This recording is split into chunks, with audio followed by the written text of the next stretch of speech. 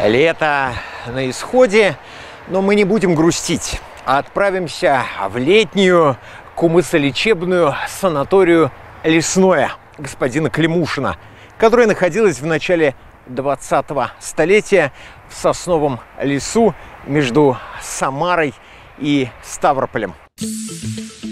Смотрите программу «Город. История. События» на телеканале «Самара ГИС».